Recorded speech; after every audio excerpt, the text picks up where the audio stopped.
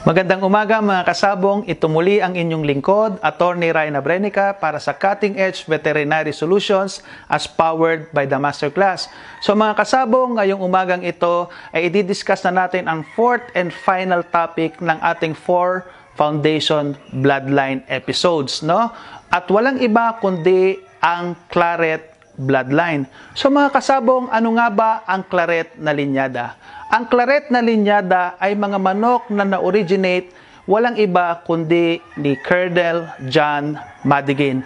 Nung sinaunang panahon, may dalawang magsasabong na dinomina ang mga labanan sa Amerika. At walang iba kundi sina Will Allen at saka si Colonel John Madigan. Madalas nung sinaunang panahon ay labanan ng mga manok na Allen Roundhead variety o di kaya naman Madigan Claret variety. In fact, mga kasabong, isa lamang magsasabong ang tumalo sa main kay Will Allen. Kasi ganyan kagaling si Will Allen, no? Almost unbeatable pagdating sa mga main o kaya yung mga one-on-one -on -one na labanan.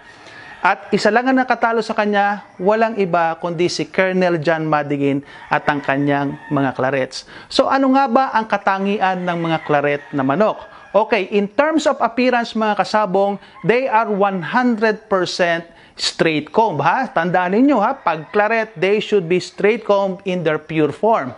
Okay, in terms of color mga kasabong, they should be a majority of them dark wine red chickens. Kaya nga claret ang tawag sa kanila mga kasapong sapagkat kulay ng alak. Kaya nga tinawag na claret or it means the color of the claret wine. Okay mga kasabong. In terms of kulay naman ng paa mga kasabong, a majority of them should come white-legged while paminsan-minsan meron ding mga yellow-legged kayong makikitang mga clarets. But they are absolutely 100% straight comb, a majority of them dark wine red chickens and white-legged chickens. May pangilan-ngilan na merong medyo lighter red and then yellow-legged chickens. Okay, in terms of what they can give to your chickens naman mga kasabong, anong maitutulong ng mga clarets sa inyong mga manok?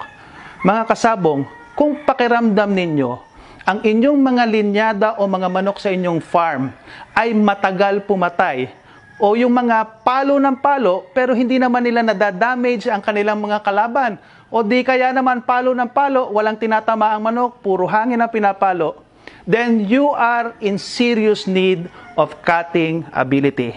And when it comes to cutting ability, mga kasabong, in my own humble opinion ha, opinion ko lang naman ito, In my own humble opinion mga kasabong, the Claret bloodline comes second to none.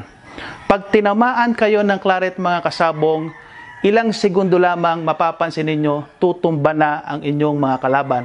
Para silang may mga guided missiles sa kanilang mga paa. So ulitin ko mga kasabong, kung pakiramdam ninyo kulang sa cutting ability ang inyong mga linyada, then you should seriously consider the claret as a bloodline na pwede nyong i-cross ang inyong mga modernong manok.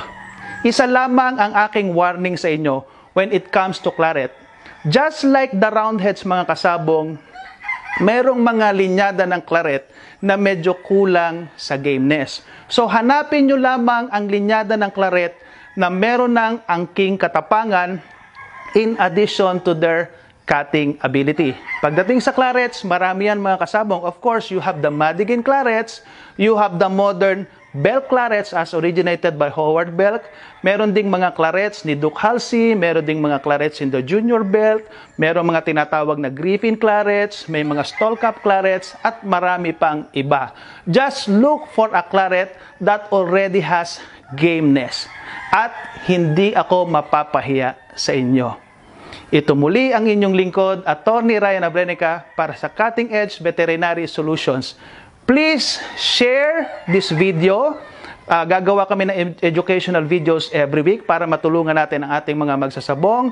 And kindly follow, subscribe, or like our Facebook page for Cutting Edge.